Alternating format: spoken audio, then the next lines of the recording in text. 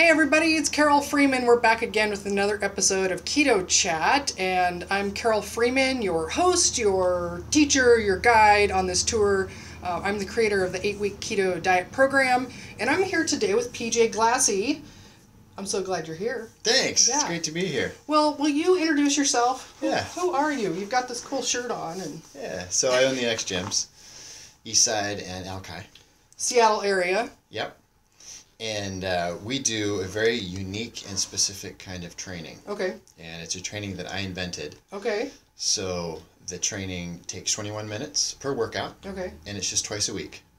Wow. So it's really for the busy people out there that Okay. don't have time for traditional training or CrossFit or whatever that might be that might take a lot of time. okay. And so, huge time saver. It's also really safe. Okay. So the methods are designed for controlled motions with light weights or body weight. Okay. So it's really safe and long time under tension. So continuous contraction of two, three minutes. All right. And at the end of that, complete muscle fatigue. So the two or three minutes leading up to the muscle fatigue is endurance training, and then the muscle fatigue at the end is strength training. Oh, so so people are getting both out of it. All right. Yeah. Sounds pretty awesome. Yeah. So, Yeah. Well, okay, so this is pretty awesome. You've got your own workout style or format, or what do you call it? A uh, plan, Mm-hmm. Style, program? Okay. methodology. Method. Yeah. Okay, Mhm. awesome. I love that. Okay, so that begs the question then. Yeah. How did you get to this point? I Mm-hmm. mean, first of all, let's start with because I'm sure the story of owning your own gyms is one part, but also I want to know what's your your background. How did you come to invent Right. this uh, training method? Yeah. Well, it's really comes from the science and studying the science. Okay. And I learned how to study the science in college when I got my degree in exercise science. Okay. And the most valuable thing I got at SPU when I was in college was how to read research Okay. Yeah. and how to see whether a study is valid or not. And then to look at similar studies or other scientists that have repeated that study, see how scientific it is, and then see the cool stuff, the new stuff that Yeah. comes out, Okay. and then just start experimenting. So I started this experimentation back in 1987, Okay. and That was still when Arnold was still pretty hot. Right? yeah, yeah. See, bodybuilding was really huge in the 80s. yeah. Yeah. And then towards the late 80s and the 90s, it wasn't so huge anymore. Mhm. And people were kind of over the getting huge thing, getting big, bulky, and they wanted something, they still wanted fitness, Yeah. but they wanted to look and feel fit, defined, muscle tone, lean, strong, healthy, all that stuff, but not big anymore, Okay. especially in the 90s. So people didn't want to get big anymore, but they wanted to get lean and fit. Yeah. They wanted to look and feel strong. Yeah. Yeah. And I could see that trend happening Okay. here in the late 80s when I was researching this stuff and getting my degree. So you grew up in the Seattle area? I did. Okay. mhm. Grew up on Mercer Island. Okay. Went to school in Bellevue, Seattle, so I've been a local Okay. most of my life. That's a rare thing around Yeah, Seattle. Yeah. Yeah, it is. Yeah, there's a lot of newer transplants in the area, especially lately. Ah, yeah. This place has just exploded. Yeah, yeah. But it's always been that way. I mean, it's always been a great place to live. Okay. Yeah. Yeah, and when my friends come out and visit from other parts of the country, they're just shocked at how beautiful it is, how much fun stuff there is to do, and they want to move here. I don't blame them. Yeah. Shh, don't tell anybody. Yeah, I know. Right. All right, so you studied um, exercise science at uh, SPU, Seattle Pacific U- University, Yep, right? mhm. Um, what what'd you do after that? So you started noticing this trend. Yeah, and so when I was there in college, I was writing research papers, you know, for part of the curriculum, and one of the papers I wrote was on a subject that my professor was teaching that I, I kind of questioned. I thought, oh, I don't, that doesn't sound quite right. And it was about eccentric exercise, eccentric uh, motions. Okay, tell me. Let's pause right there. What is eccentric? Yes, thank you. Exercise. Good idea. so eccentric is the contraction where you're resisting going down. Okay. Resisting against gravity Okay. while the muscle is lengthening. Okay. So concentric is the other way. Okay. So you're lifting something. Yeah. Eccentric is resisting as it's controlling the speed on the way down. So at the time science was indicating that there really wasn't much benefit to the eccentric phase of the contraction. Oh, Mostly just concentric. Okay. I thought, oh, that's kind of weird because Yeah. you know, with my own experience, it doesn't seem really seem to be the case. And when I do heavy eccentric, especially heavy eccentric or negatives, I get really sore. And yeah. sometimes sore is an indicator of you know good muscle work and all that kind of mm-hmm. stuff. Not all the time. Anyways. no pain, no gain, they say, right? Well, yeah. There's mean- some truth to that. Okay. Yeah. Not complete 100% truth Yeah. to that. So, anyways, I was, uh, I thought, well, that would be a fun subject to do my research paper because, you know, you have to do a big research paper at the end. So I did that, and I knew my professor would think it's great because he's super open-minded and he, he's really into the latest research too, and he Okay. thought that would be fun new information if if I could debunk really what he was saying. So Ah. I did, and I did my presentation. He's like, "Wow, that was great! Oh my gosh, I'm going to change my curriculum and all that kind Oh, of stuff." Oh wow. Because what I found was eccentric was just as good, and sometimes, in some cases, a little bit better than the concentric phase. Hmm. And it, they both have their advantages, but they're both just as good, and Okay. one is not inferior to the other. So, that was the paper, you know, that proved that to be the case. Nice. And so then that just really got me excited about research and just started devouring it and started probably two hours a day. Since then, since 1987, I've averaged two hours a day studying research, mostly in exercise, but a lot of research in nutrition and a ton of research in brain science. Mm. And so I've learned a lot since 1987. Yeah, I would say that probably puts you in the top tier of I don't know one to two or five percent Mm-hmm. of the people out there that are instructing people in Yeah. exercise. Like Mhm. most, I would imagine that most people out there just get their certification, maybe not even a Yes. degree, and then and then Right. they just go and uh, Yeah, most trainers get the weekend certification Yeah. where you know they read a couple books and then when that certification company is coming Yeah. through town or in a hotel room, sit down, take a test, and now they're Yeah. certified. yeah, So it doesn't really mean a whole lot, unfortunately, uh, with our industry to be a certified personal trainer. Uh, sounds like you really have like head to toe, inside and out understanding of how the human body works. Yeah. Yeah. And that's what helped me develop the methodology that we have at the XGym. So Okay. we've got seven different splinter technique or seven different methods, and we've got thirty different splinter techniques. And by method, I mean how we're doing the rep itself. Okay. By splinter techniques, I'm talking about what we do at the end when we get to muscle fatigue or beyond, which we usually go beyond that. So, uh, the methodology was developed with my own clients as guinea pigs. Okay. When I graduated SPU, I was a trainer mostly out of people's homes and a couple of clubs in the area. And I just was experimenting with them. And they knew it right from the start. I said, you know, I'm an exercise scientist, and so Yeah. I also happen to be a personal trainer, but my main thing is exercise science. So Okay. you're going to be a guinea pig, and we're going to try really cool stuff, and some of it's going to work, and some of it's not going to work. You're, and we're going to see Okay. And then the stuff that is going to work we're going to keep doing and the stuff that doesn't work we'll find out pretty quick and we won't do it anymore and Yeah. that kind of stuff and they're really into that Yeah. Yeah. Mm-hmm. so it's interesting you know it's fun and so then they started telling all their friends and family and then the business grew to the point where i had to scale myself so and then in 1998 uh, opened up the x gym okay. and then Where'd the name come from? You know that's a funny story because All the other letters of the alphabet were taken, and then. yeah right So my original client back in oh I think it was '88, uh, Melissa. I worked with her for quite a while, and she just she had a blast, got great results, was thrilled, was got totally into fitness, was became one of her passion, one of her passions. And so she said, you know, ar- ar- around '95, she said, I kind of want to open a gym. And I said, cool, you know, let's, I can help you with that. And so, kind of on a consulting basis, uh, helped her out open a gym in 96 in Belltown in Seattle. And so I offered her my methodology because I had it developed by then. And she goes, nah, you know, it's really complicated because she'd been doing it. Mm. And it'd be really hard to teach. And so I just want to stick with, at that time, what was called super slow, which is a great method. It's just slow motion. Okay. And so I go, okay, uh, the problem you're going to have is that it's only one method. Mm. And so you can change exercises from time to time, which is great, and then traditional training does that. But it's since it's the same method, you're still going to have your clients are going to plateau over time.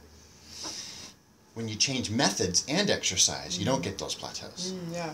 So she goes, I know, but you know, still, it's just so high maintenance what you've developed, and it really is. And I just don't want to do it. I just want to do super slow because it's a good method, and it is. It's like, all right.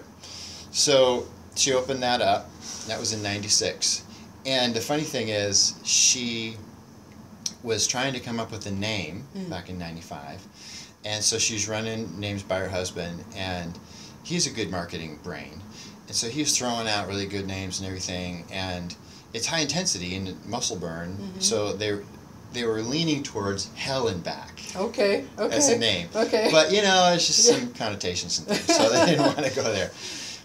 And so he kept throwing stuff out, and you know, she'd be she'd just kind of shoot it down. So he was starting to feel a little bit over criticized because his ideas are good. And so finally, he got to the point where he, in frustration, he just threw up his arms and he goes, "Okay, well then, how about something generic like X Gym?" okay. And she goes, "Oh," and she said, "I like that."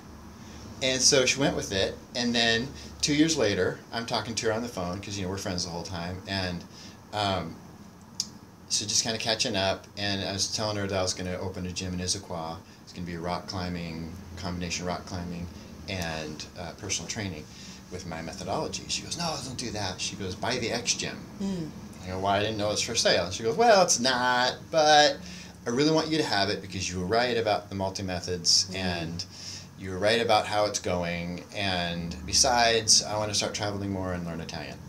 Okay. So so said, she started it, kind of started it for you. Got it off. I mean, Kinda, yeah. The name at least, yeah. the name, yeah. And so, and some some clients that came with it. Okay.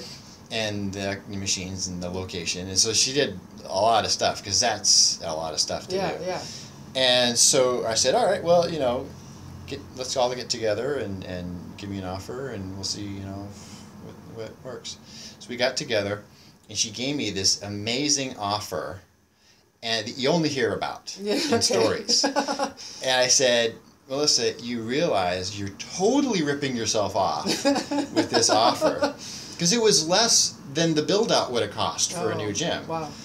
and but I'm, I'm getting some clients i'm getting equipment and so it's like she's totally jipping herself out. And so she goes yeah i know but we really want you to have it because you know we like the clients that we have and we know they're going to be in good hands and and we just want you to do this instead of the Issaquah idea and so we really want you to try to talk you into it. And i go okay ow Yeah, yeah. ow. And so that's how it started and and um, you know expanded that club and uh, opened up Alki and Kirkland and you know the rest is history. Yeah. Well, cool. Yeah. Um, I want to ask about some client results, but first, I'm really curious how what happened before you decided to get your degree in exercise science at SPU. Like, what were, what early in your life led you to that? Well, I've always been interested in psychology, Okay. and so that's what I came into SPU to intending to do. Okay. get my, my major in psychology and then my master's and then do counseling. Okay. Oh, okay. because you know that's a passion and brain stuff has always been a passion and so uh, i was a psychology major until i was a junior and then my senior year well my junior year i started doing other classes to kind of offset the psychology so i took windsurfing and wow that was really fun took scuba diving wow that was really fun and the professor that taught both of those is awesome cool guy and so uh, and he was a professor you know in the pe department kinesiology and all that kind of stuff and so uh, we were talking. He knew why I was taking those classes, and he goes, "Well, you know, why you seem to have an interest in this?" Because I'd been working out since high school, and I, I, interest was fitness was definitely a passion along with psychology. So he said, "Why don't you take some more classes?" And so, all right, what do you suggest next? And he goes, "Well, maybe kinesiology." All right, cool. I'll take kinesiology, and then took kines, and that was fascinating. Oh. And then I wanted to take A and P, and so then Well, I'm we like, probably should pause and even explain what is ki- kinesiology. kinesiology is human movement. Okay. So joints and muscles and angles and tendons and all that kind of stuff. Line Oh, of so you could you could name the dr- greater trochanter Yeah, and the right, yeah. Wait, where is that? Is that the one that's here? That's the hip, yeah. I remember a little bit of it. yeah. And then A and P, anatomy and physiology. physiology, Okay. yeah. And I'm just eating this stuff up. And then I'm thinking, you know, I like psychology, but I love this stuff that I'm getting into Mm. now. And so I could probably make more money as a psychologist than a personal trainer, but I bet you I'd be a lot happier as a personal trainer than a psychologist. Mm. Okay. So I went for happiness. I changed majors. This was my senior year when I changed, so that put me there another year. Okay. But my dad was a professor there. I got 95% off tuition. Oh, And so, you got nothing else to do. yeah, well, 5%. Might as well just tack So- on an extra year. So is your dad a psychology professor? No, Okay. business, CPA. Okay. Oh, okay. Mm-hmm. Yeah, The opposite side of the, the brain. right. yeah. So then um, I just couldn't stop studying the research. And Okay. every, it's like, it's an addiction. It's still an addiction. And uh, I just have to do it every day. And if, if even if I have to stay up late, if I go to if, if, if it's bedtime and I haven't done research, I'm like, and I have to do it, so I do it. And and when my mom was diagnosed in about 2001 with Alzheimer's, I started to uh, study more brain stuff. Okay. I was interested in that, and I always did research, but Yeah. because just psychology and everything interests me. But I put more energy into that, and so since 2001, I've been devouring that research too. Okay. And she passed in 2005, and um, but you know I just never let up because it's just so interesting, and and I can help other people, that would be really fun too. Yeah. So I've learned a ton about brain science and how the brain works and how nutrition integrates with that and exercise integrates with that. And then exercise science and nutrition science. Okay.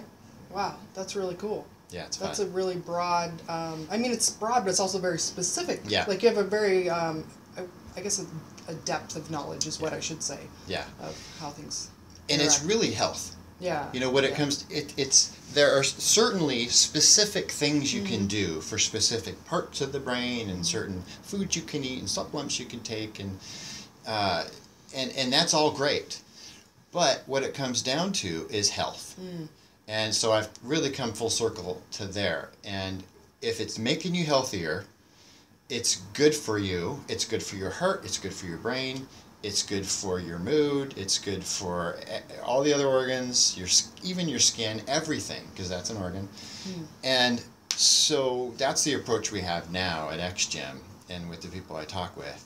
It's not about getting ripped. It's not about getting lean, reducing weight, especially reducing weight. It's about getting healthy. And so what we explain to everybody, our clients and my friends, family, everybody I can who will listen, is get healthy. Just do what it takes to get healthy. Yeah. Everything else will fall into place. And you'll lose the fat that you want to lose without having to concentrate on it. And weight, if that's important, then you know that'll take care of itself. Because once you reach optimal health, you also reach optimal weight. Mm. You also reach optimal body fat percentage. You also you reach optimal brain functioning. You you get younger Mm. because healthy health is young is youth, and so all of those things fall into place without having to compartmentalize anything or focus on any one thing. Yeah, yeah. That go. I always tell people that you have to get your biology in line, Mhm. and then the rest of it takes care of itself. And what I mean by that is that when you're eating in a way and taking care of your body in a way Mm-hmm. that you're working with your biology rather than fighting against it, Mhm. things are much easier, and people Yeah. Mm-hmm. don't have to use willpower to restrict to restrict calories and force themselves to go work out when their Yep. body is just tired. And so Been get, there, done that. get the biology lined up first, and then Yeah. all that other stuff falls into place. hmm Yeah. Yeah. So t- been there, done that. Tell me about that then. Oh yeah, gosh, I've been through everything. Um, back in high school, you know, I was doing the whole fitness thing. Is really when it started, and I was also doing the you know the protein window and all that kind of stuff. All the things that have been marketed by Yeah. protein supplement companies to Mm. sell more product. Okay. And I believed it. You know, I read Muscle and Fitness, and back in the '80s, I wanted to be big and huge like You saw- Schwarzenegger. You saw those before and after photos and Yeah, I know, yeah. ads, right? Yeah, right. Now I know what a scam those are. I mean, because you, you you hear about these books or these companies that have these you know big transformation contests, Mm-hmm. and so you know two hundred thousand people sign up to do it, and twenty thousand people end up finishing. Mm-hmm. They don't tell you that. And then out of those 20,000 people, 10,000 submit their before and after pictures. And out of that 10,000, you got five or six that are pretty amazing. and those are the ones they use. So everybody assumes that, you know, oh, this is a miracle product. Yeah. Because look at these five or six photos that are phenomenal. Yeah, yeah. So it's just marketing stuff. Well, and it's lighting and uh, Yeah. you know some of that stuff. Exactly. yeah. Straight on for the before Yeah. and above for the after. yeah. yeah, yeah. So um, that whole thing is is where I've been through all that stuff. I even did one of those contests. Okay. I bought into all that stuff. But then as I started getting more research done, I started getting smarter and um, seeing around everything and really understanding the physiology and nutrition, brain science, and coming up with my own stuff because what we have as far as what current recommendations are being given to us, you know, from the government or mainstream or whatever it is, is severely outdated. And some of it's just wrong. And, and it's hard for them to admit. Yeah, yeah. You know, um, Ancel Keys came out with the whole thing that, you know, fat's bad and uh, got everybody afraid of fat. And so we all went low fat and fat consumption went way down and it worked as far as what they told us to do because as a nation we did what they were saying to do Yeah. and then got huge unhealthy sick and it, so the pandemic Do you want another from- Snackwell's cookie? yeah right yeah it's only 100 calories you can No fat. uh, yeah, right. And so a huge disservice. And um, you know, towards the end of Key's life, he well even before that, he was openly admitting, "Hey, dude, I'm totally wrong." Mm-hmm. Yeah. But he didn't want to go public with it because his you know ego and all that kind of stuff. And the government can't come out and say, "Oh, sorry, everybody, Yeah. for making you sick and fat." Yeah, because then nobody listens to him anymore. They're like, "Oh, you suck. I'm not going to listen to anything you say anymore." Yeah. They can't afford that to happen. Yeah. It's already happening, but they can't afford it to happen more.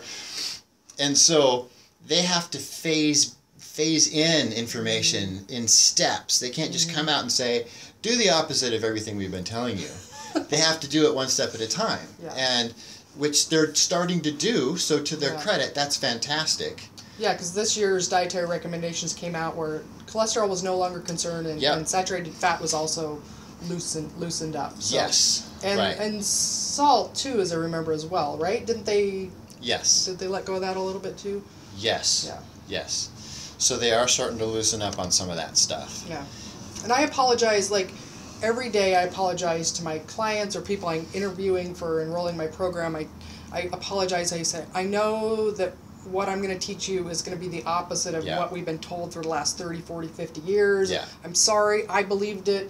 I was on that bandwagon in 95, eating low Yeah. fat everything. Oh yeah, I was And- too. yeah. yeah. so I apologize. I, I'll apologize to you right now, too. Yeah. I apologize to past clients all the time. You know, sorry, Yeah. kind of screwed you up. Here's the truth now, Yeah. and you know we actually really know, and I know I've seen the research to back it up. yeah.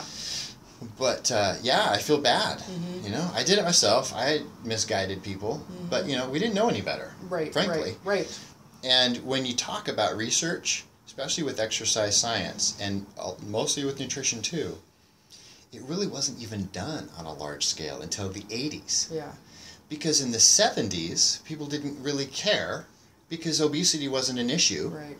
People were in pretty good shape because they were active and they were out doing fun stuff. And then computers, sedentary jobs, um, processed foods, high fructose corn syrup, all that stuff started coming on the market and coming into our lives, and then we're getting bigger and sicker. And then in the 80s, people start caring because that's when it really started to happen, yeah. start to take off, the whole obesity thing and high fructose corn syrup and all the other things. And so now when people care, then there's money funding mm-hmm. research. Mm-hmm. Before that, there wasn't any money to fund it. And so, A, we didn't care. B, there wasn't any money to do studies. So the 80s, that starts to happen, which is great. And that's when I started getting into the research. And that's when I discovered, I'm a pioneer because the research is new. Yeah. The concept of doing research in exercise and nutrition is just starting now. Yeah. This is really cool. This is really fun. Yeah. And so just kind of rode that wave and uh, made mistakes along with everybody else. But uh, over time came up with stuff that actually works.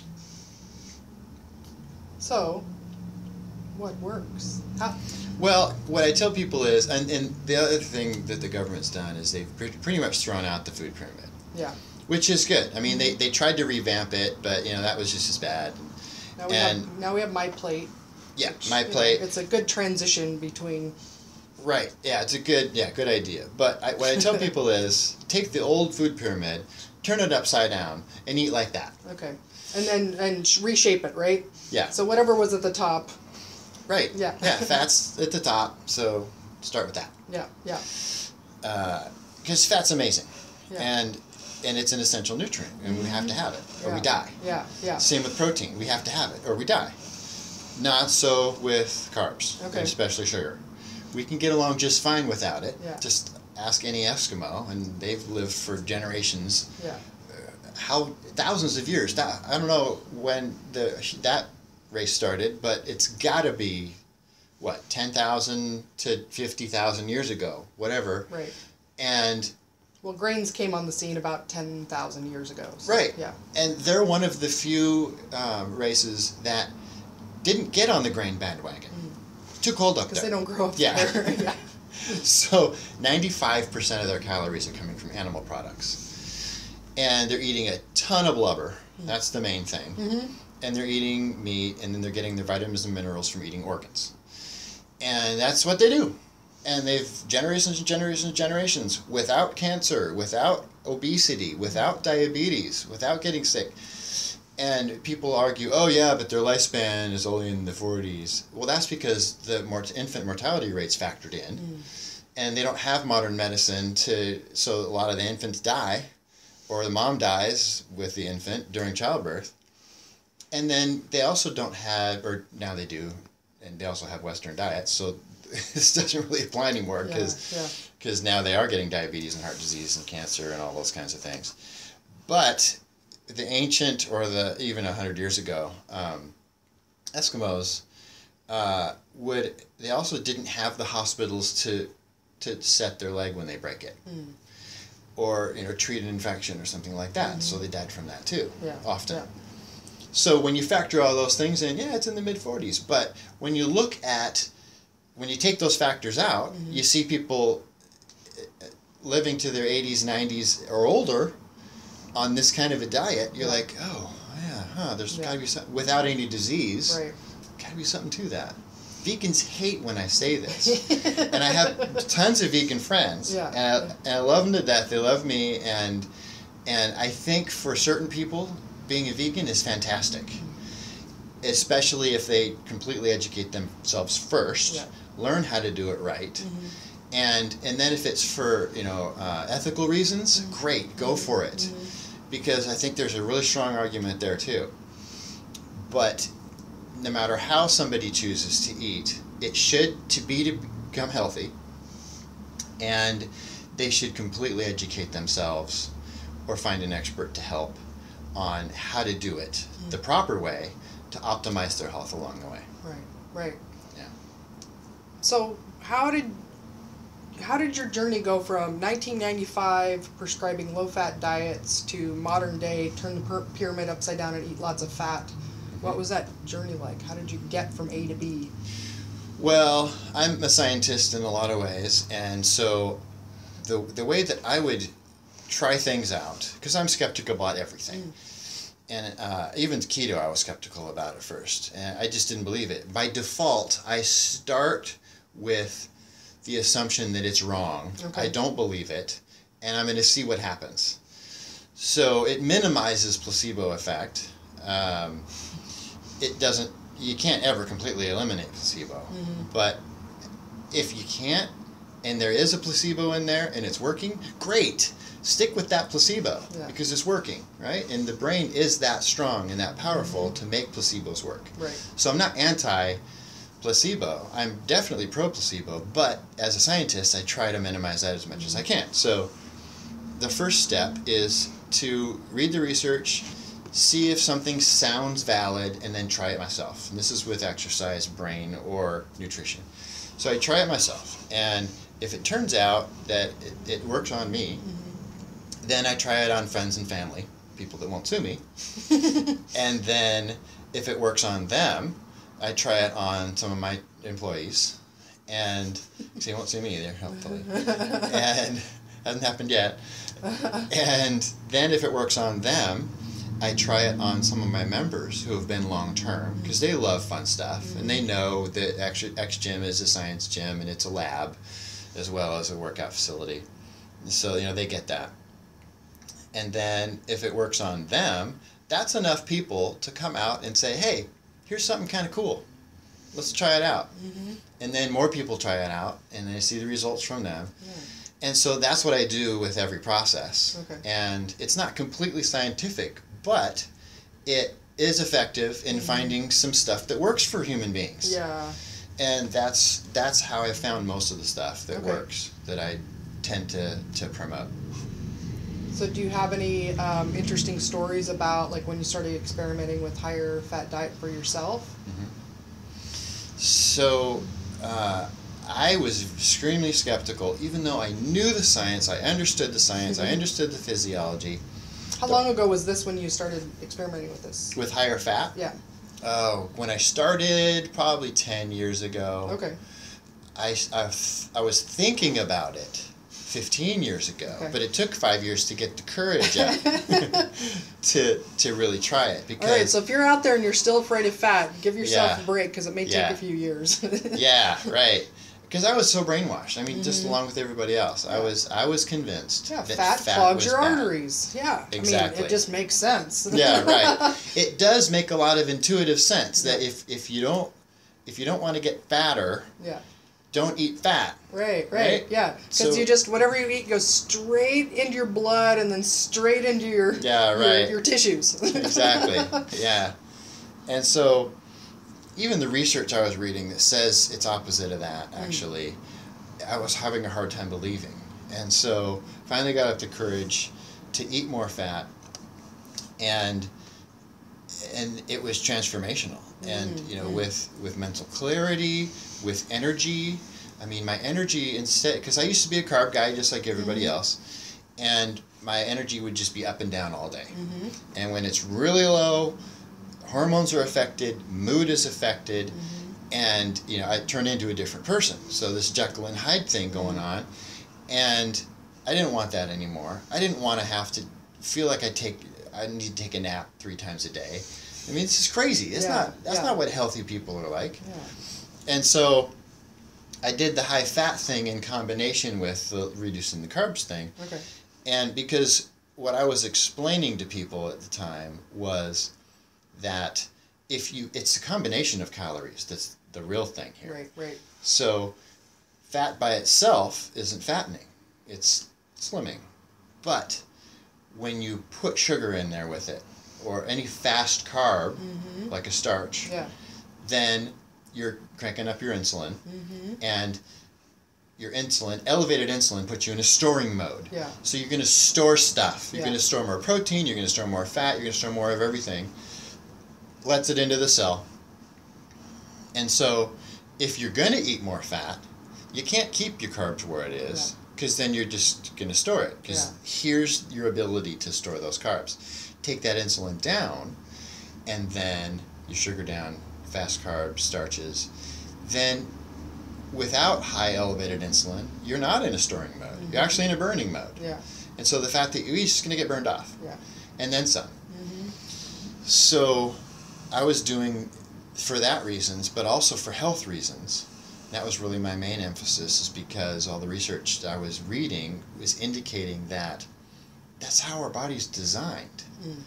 And we made it for thousands, thousands, thousands of years yeah. eating that way. Yeah. And that's how we ate 10,000 years ago before the ag- agricultural revolution. Mm-hmm. We ate a lot of animal products and a lot of fat. Mm-hmm and very little carbs. Mm-hmm. And the carbs that we were eating, the vegetables that we were eating, were green mm-hmm. and they're slow carbs. Mm-hmm. And there were a few tiny little berries and right, yeah. but they were teeny tiny. Right. They're not bread like they are And you- today. You, couldn't you couldn't even gather you know ten cups of them to eat at one time. not- No. let alone one cup. Exactly. It's just too, it takes too much time. And by the time you're done picking the berries and eating them, it's taken so much time that you're hungry because you burned them all off. They were they didn't have blackberry pies Right, right. back then. Right. So Well, because you can see here in the Northwest, we have blackberries that grow like, oh my gosh, it's they cover acres Yeah. of land. Yeah. But they're the uh, the Himalayan, right? Or the they're these giant blackberries that I can't believe we have them everywhere. That grow on every uh, vacant lot. Except people will pay at the grocery store six dollars for a half pint of them. I don't understand that. But they're not the the they were as far as I understand they came over from Europe and they're not even native to this area. And so we've got the little once in a while you go hiking in the right spot, you can find the tiny little native Yeah. blackberries, and they're very tiny. Yeah. And so just imagining the difference of you know uh, the big ones are I don't know twenty times as big, and Uh-huh. so Yeah. yeah, you get so much more sugar in those than you got Yeah. the native ones that were here you know 300 years ago. Right. So and the gram for gram, the little ones Yeah. compared to the big ones Mhm. have way less sugar. right, right, because the big ones have been bred Mm-hmm. for sugar. Same thing with our other starchy, sugary products Yeah. that we have that we've grown, like wheat, for example, has been ancient wheat Mm-hmm. has been bred off the surface of the planet. It's not it doesn't exist anymore. So the wheat two thousand years ago, where you read in the Bible about Jesus walking through the wheat fields, popping the heads off and eating them with his disciples. That wheat that wheat does not Yeah. exist on our planet anywhere on our planet. It's extinct, and it's our fault. And it's too bad, because that wheat did have some nutritional value. Mm-hmm. Modern wheat doesn't. I don't care where you go. I don't on the planet. There's better wheat. There's less bad wheat, but the good stuff is gone. Mm.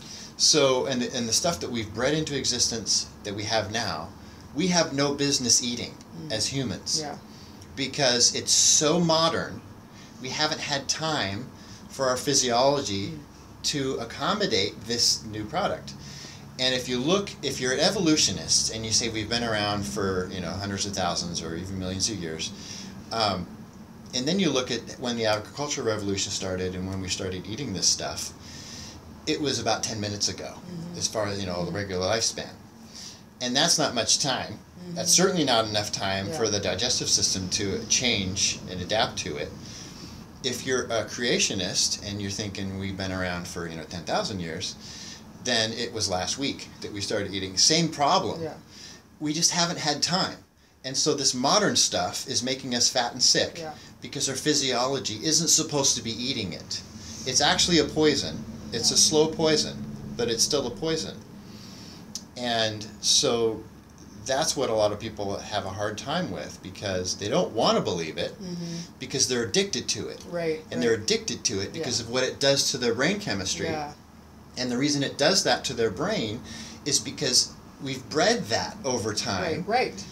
Because we eat this stuff, these new strains that come out, and we get this hit in our brain. Yeah, oh, that's yeah. a good strain. So Yeah. we keep going with that strain. Yeah. And then now we have this this proliferation of addictive brain chemical food that we're eating, and we're medicating ourselves with our food Mhm. instead of eating it for health Yeah, and you go up to the mountains and you find one of those berries, it doesn't taste very good because we're comparing it yeah, to the big old huge blackberries that we have now. Mhm. And in comparison, it doesn't taste very good. Yeah. But jump in a time machine and go back 10,000 years and pick one of those berries, you, oh, this is great. yeah, But like you said, you just can't eat enough for it to be a problem Mhm. because they're tiny and it's a lot of work to pick them. And yeah.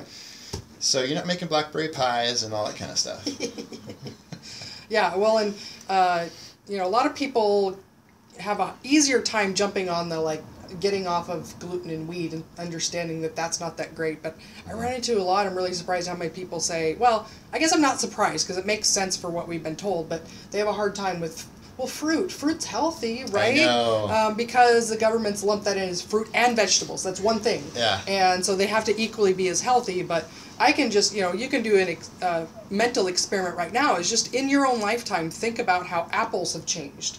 I know when I was a kid, my mom sent me an apple every day in my lunch, Mm-hmm. and we had three choices. It was Granny Smith, Golden Delicious, or Red Delicious, and none of them were tasty. They were tiny little apples. Yeah. I I threw it out every day. I, I, I confessed to my mom years ago that I was throwing out the apple. Yeah. And she says, she goes, Oh, I thought you liked it. That's why I sent it every day because you never Yeah. came home with it. And I was like, Yeah. Oh, I felt so guilty for wasting all that food. And we've since made up after that. But, Yeah, that's good. but yeah, just, you know, the apples when I was a kid were this little, and now we've got the giant size of a small child's head Yeah. Honeycrisp apples. And the difference in those is just pure sugar's been added to it. Yeah. Hair that's going and less hair. fiber and if it's if it's uh, GM a GM Oh, food then it's got tons of fertilizers to make it grow faster Mm-hmm. so it spends less time in the ground because the farmer makes more money because they're Yeah. selling it by weight and they want to grow it faster to, to, to have more seasons Mm-hmm. in the year and you know turn it over and make a bunch of money so it's bigger and spending less time in the ground and the ground is what it's soaking up the nutrients Mm-hmm. so that's where it's getting its nutrients and so you got you got this new fruit and veggie that is huge spent little to no time in the ground and or grown in a lab even worse a lot of that too and it just doesn't have even a tenth of the nutrients and the nutrients does that it does have are out of whack because it didn't Right, have enough time to get them in whack Right. and so Not to mention that the field is depleted for monocropping. Bingo. and- yeah. yeah a whole bunch of problems Yeah. so that's certainly an Yeah. issue So I'm curious, did you start out on the paleo bandwagon and then morph into keto? Did you make that, uh, was that part of your wagon wagon wheel journey of Yeah, I mean, paleo makes sense to me. And Okay. when I don't have time to explain more specifics on, Mm-hmm. on how to do nutrition, I'll tell someone, You heard of paleo? Go for it. And there's tons of recipes online. Yeah. I mean, we're not hurting. uh, Anybody can. The people that like variety, because they used to complain to me, oh, yeah, but you know, I don't want to do this because there's not enough variety. I need my variety. Great. Well, there's plenty of variety now. I got the interwebs, and Yes, you got yes. all these recipes Yeah. out there, and more variety than you could ever eat in a lifetime if you ate something different every meal. Right. And they're all delicious. So go paleo. Yeah. And then for the people I have more time explaining, then I, I tweak it a little bit further and I go go primal, like you know Mark Sisson and stuff. Yeah, yeah. And then for the people I have more time yet, then I, I get a little bit. I say, well, my personal preference, kind of tweaking on those two philosophies, is I'm okay with dairy, and uh, but not so much with fruit. So that's the main difference. Okay. And the reason I'm okay with dairy is because I know the difference between conventional dairy and grass fed dairy and raw dairy. And grass fed, raw, that kind of stuff, it's all awesome. And Jersey cow versus Jersey, exactly. Holstein, Yeah, yeah, yeah. exactly. Big differences there. Do you do you want some Twin Brooks cream when we get done Yeah, with this? please. Okay. Yeah. and so, um, and then with fruit, you know, a lot of people say, well, fruit's a health food. And Because it's fruits and vegetables. It's one thing. yeah, right, right, yeah, exactly. Not modern fruit. That's the problem. Yeah, Same thing with yeah. modern grains and some modern vegetables. And so, I'm not a huge fruit fan. And um, I had just recently was talking to a X Gym member who he was already pretty lean, but he wanted to get leaner. And so, you know, we're talking about healthy eating and all this kind of stuff, and we went over the fruit thing, but you must not have heard that part because he comes back a month later and goes, Yeah, you know, I gained two pounds of fat. What's up? Because we have this really fancy BEI machine Okay.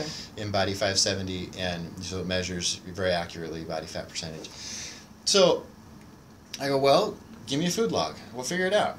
Because 95% of the time I can figure it out with the accurate food log and if I can't, it's you know there's some other hormone stuff going on that we got to figure out. So he gives me his food log back, and there's a ton of fruit on there, and I'm like, well, he must he must be tell, measuring the fruit, estimating it wrong or something. So I'm like, you know, let's go over this fruit thing.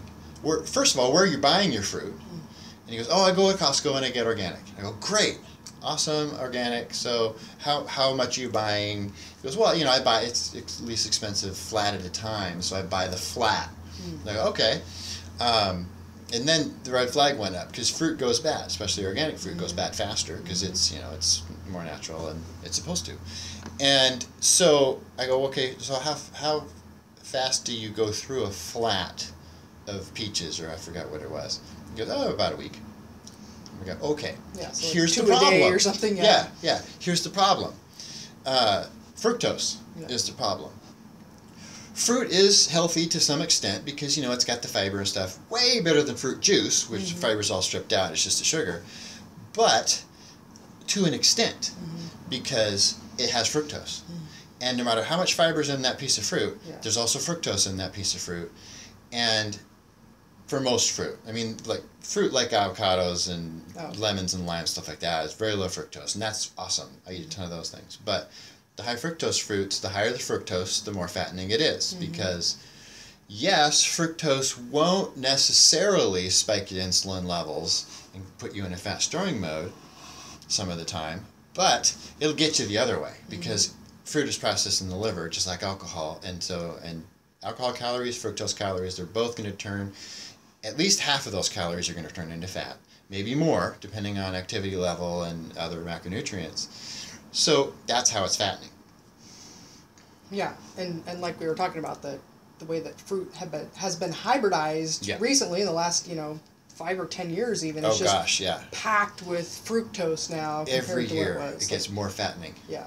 Yeah. Yeah, I mean, uh, like, going back even farther, I mean, I know the difference in apples in my lifetime, but going back even farther, apples weren't native to the United States. They were brought over from England.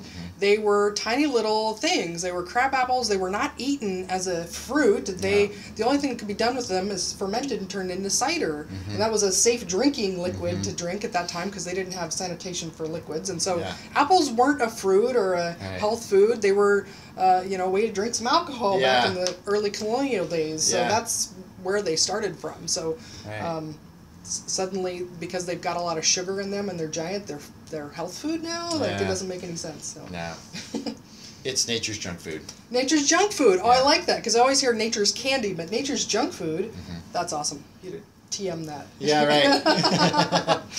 and Alright. a little bit's okay. Yeah. you know, because it, does have vitamins and minerals, Mhm. and that's fine. Um, for me, it's a trigger. It's a brain trigger. Well, and I know I, I have a, a fairly close friend that's type 2 diabetic, and um, she was having trouble getting her. She eats fairly low carb, um, and, and you know, is non medicated type 2 bi- diabetes. She just manages it with um, diet. And she found, though, that um, she couldn't figure out how to get her morning fasting blood glucose down below 100. It was, you know, 108 or so. And Yeah. she was having a half an apple every day. Mhm. And I was kind of like, eh, that's actually kind of a lot of Mm-hmm. uh, sugar in there. You might look at that. No, no, no, it's fruit. It's fine. It's okay. And I think finally she relented and gave in, and, and Yeah. she found when she cut that out, her, her fasting blood glucose came down. So Yeah. I don't know. Some of the fruits, I wouldn't even say a little bit's okay, but Yeah. um, some of the berries, I think. But it depends, right? Yeah. Like, have you found It that? depends. That it, it depends on each person is really unique in what they can tolerate. the so, super high fiber fruit and the low fructose fruit, Yeah. you know, a little bit's okay. Yeah. But I stay completely away from the high the high fructose fruit, and especially if it's high fructose low fiber. But it's a it's a trigger food for a lot of people, and me too. Um, now, I've trained my brain so I don't even crave the stuff that I used to eat. Mm-hmm. I, and that's atrocious. Gosh, I could go all day on what I on the crap that I used to eat. but um, for a lot of people, it's a trigger, mm-hmm. and so they're eating this healthy food, Right. and then boom, now they're eating a health, unhealthy food because their brain's been triggered to crave that, and so now they go for the chips Right, right. or whatever candy bar or whatever else it is. That makes sense why years ago, whenever I'd eat an apple, I was hungry, and half hour later, now I get it. Mm-hmm. Yeah, That it's- was filling. How could I? How could I be hungry? Exactly. Well, maybe the insulin spike as well from all Yes, the fructose, right. Or the sugar in it. Yeah. And anytime you get that insulin spike, ups and downs, it affects your hormones, Mm-hmm. and your hormones affects your thoughts, and your thoughts affect your actions. Right.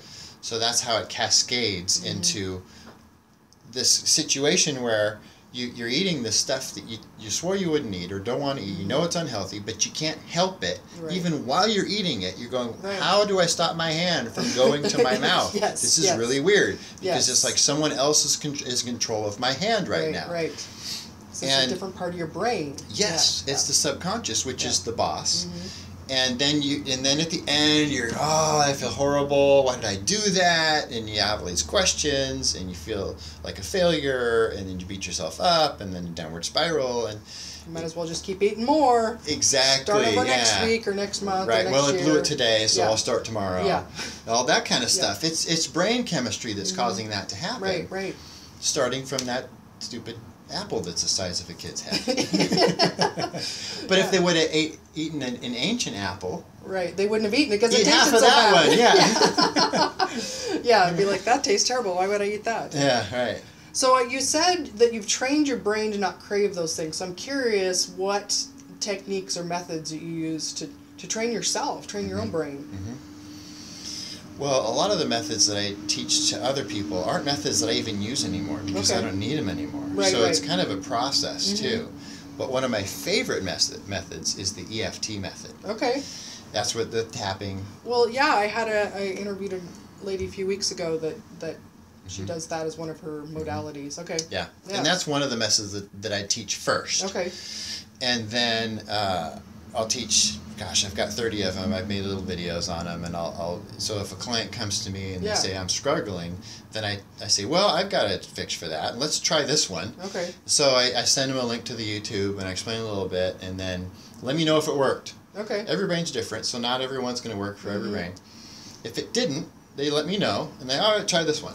And I just th- it, it only takes two or three to Yeah. find which is going to work for them. Right. But then we find one that works. They go, oh, wow, that was weird. That really worked. And even if they're skeptical, it still works because it's on it's on a it's usually on a subconscious level. Skepticism is in the conscious brain, and or it's on a chemical level, or um, an electrical level, like the EFT. Yeah. It's all about electricity and you know energy meridians and stuff like that. So I've had plenty of skeptics that have done that technique. And like this one guy, he's, he's trying to get rid of cookies. We had the cookie there, and made him crave it, and went through all the steps of the EFT. And he's the whole time he's doing the tapping, Mhm. he's supposed to be saying cooking craving, and so I'm correcting him because what he's trying to say instead is this is stupid. Oh, this is ridiculous. he's just annoying the whole time while Yeah, he's doing it. yeah. I go, that's fine, Don. Just keep tapping and just keep trying to crave it, and just coaching him through it. And then we get through, and he looks at the cookie and he goes, "Huh." He goes, "I don't, I don't, I really don't want it." And I go, "Take a bite." He takes it and he goes, "Ah, it tastes like cardboard." He goes, "Wow." But he still didn't want to believe it because right. his ego was in the way. He Yeah. wanted to be the skeptic. He Right, didn't want right. to be wrong. Mhm. And so he says, well, it's just because it's a distraction technique. Mm. And at that point, I didn't want to bother explaining the whole science behind it because he's not going to go for it. He's he's a skeptic. He needs he needs a save face. And so I say, that's okay if you think that. And part of it, Don, is the distance distraction technique. Yeah. That's part of it. It's Yeah. a very small part of it, but it's Yeah. part of it. So I'll let you have that. Yeah. The point is, it worked. So, keep doing it and keep building this skill. And he's like, Yeah, I guess you're right. Yeah, I guess it really doesn't matter why. It worked. Yeah. So he kept with it and tapped away a whole bunch of other stuff. And that's how I got my start. Is that that was my main technique. Okay. But like I said, before I don't need it anymore because I don't have any Right. cravings Right. anymore. Okay.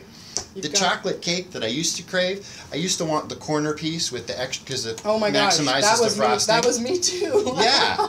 And if there's some decorations on top of that Yeah, corner piece, yeah. that's an extra bonus because Yeah. that's even more. It says Yeah. like one to one ratio cake to frosting. and I was crazy about that kind of stuff. I couldn't Oh. get enough of it. Oh, But now, when I think about that, it, it makes me dry heave because Mm, it's just so nasty. Right. Not only do I not want it anymore, it makes me sick to think about Mm-hmm. it because of the different brain training techniques that I've done to Yeah. rewire my brain. Yeah. So I'm thinking completely different. that's so great. Yeah. Yeah. And another one is like the seven minute rule. okay. And that one is really handy for people that find themselves in situations where they could go the wrong way. And what that that's pretty simple. All you do is you just say you just look at the food that you're being tempted with and you say, "All right, in 7 minutes, I will give myself permission to eat that food if I still want to." And then during that 7 minutes, now you just remove yourself, maybe you go if you're at a restaurant, you go to the bathroom for a couple of those minutes and you think about the goals that you mm-hmm. have mm-hmm. for health, hopefully. That's what we try to counsel people. And go over the reasons why and ask yourself the certain questions that I have outlined and one of them is is this going to is this food going to help me live longer or is it going to kill me mm-hmm. faster? Because that's really what it comes down Yeah, to. You can yeah. you can you can ask yourself is this food healthy or not? Yeah. And that's a good question. Right. But sometimes that's not enough leverage for somebody. That is so true, right? Because I can identify with that. I uh, that um, that thought process Mm-hmm. is that it, you think of it more as like just a pause, right? Like Right. this is a break from my healthy journey, so this Right. doesn't count and it doesn't matter. But Yes. if you really think about it, actually is affecting you and it is Yes. killing you faster. Yes. That's much more powerful than just like, well, I'll have this and get on track this afternoon or tomorrow. or- Right. right. Right. There's no neutral foods. Right. You're either living longer or you're living shorter or dying earlier. Yeah. And that's that's the choice. Mm-hmm. So health, yes or no? It's a good question, but maybe it's not strong enough. Mm-hmm. And a lot of people will, uh, you know, justify and things like that. But the, is it, is it live, helping me live longer or is it killing me faster? That's a different question. Mm-hmm. It's the same end result, same thing really, but Yeah. it's a little bit different. And so then, if you answer, "This is killing me faster," Yeah. then it's more motivation, more leverage. And then if you find yourself justifying your actions, Mm-hmm. Right. well, maybe, maybe not, you don't really know, and you start Yeah. Talking I, yourself I, out I of it. I hiked a lot today, so Yes, exactly. So if you find yourself I've been just really, I've been really good. yeah, I deserve this. Yes, it's a reward. yeah. If you find yourself justifying your actions, it's killing you faster. okay. And so then the seven minutes, there's certain things, and there's more that we go into, but that's the ba- basic and some of the things that you think about, the, the processes that you go through. And by the time you come back to that food, if you still want it, go ahead and eat it and feel okay about it. Hmm. And don't bu- beat yourself up over it Right. and enjoy it. But most likely, you're not going to want to eat it. And then you really don't want to eat it. It's not even a willpower thing. It's not like, oh, I still want it. It's like, Yeah, no, yeah. I don't want it. Well, and there's a big difference. So when you first started talking about giving yourself that seven minute pause, I'm thinking for most people they just sit there and fantasize about having it in seven minutes, and that's Yeah. a big difference Yeah, because all that will do is intensify cravings. Bingo. But if you actually work through the mental process that you've presented there, that's going to be really, really powerful Mm-hmm. Yeah. at getting rid of cravings. Because most people don't want cravings; they just Yeah. would prefer them to go away and not have to deal Yeah. with them. Right. So that's uh, brilliant. You've given us some really, really good uh, tips and techniques and strategies, and um, I'm pretty excited about all of this and the uh, the uh, project we've got coming up. But I want to ask. Um, can you think of you know at least one client example of somebody who's just had this amazing transformation, both with your you know combining keto and your workout technique, your method? Yeah. So Betty was um, recently just really excited about her results with keto, and every time I counsel somebody on keto, it's really about the commitment level. Okay. because to go cold turkey keto, mm-hmm. it's pretty tough, mm-hmm. and that first month can be pretty rough mm. in how you feel mm. as your body is converting over from a sugar burner to a fat burner. Yeah. and just the cravings the addictions because they're so strong. They're stronger than drugs. Right. Right. and so it's it initially even with brain training techniques that make it way easier it's still a lot of willpower. And some people just can't do it. So most people i counsel in steps. But betty just say hey yeah I, I got i can i motivated enough to go cold turkey. So she did. And you know she went through the whole keto flu and all that kind of stuff and and um, you know gutted it out and came out the other side. And for her it was just three weeks. And she's like oh my gosh i feel so amazing i'm down 20 pounds In three weeks. yeah in Yeah, three weeks and on our machine it was water and fat, Okay. not muscle, Right. which people are really worried about, Right, especially right. if they're losing weight fast. Yeah. And Oh, that's one of the myths I deal with is people. It can't be healthy if it's fat Oh, weight loss. Like if you get your, if you get the biology lined up, your body's gonna do however fast weight loss yeah, it wants. yeah, exactly. Yeah. And so, you know, she said, Wow, is it possible that I could lose this much fat in three weeks and be eating this much fat? So much more fat than I used to eat. Mm-hmm. Right. And I go, That's why. Yeah. And now your body is working like it should work, Mm-hmm. like it was designed to work.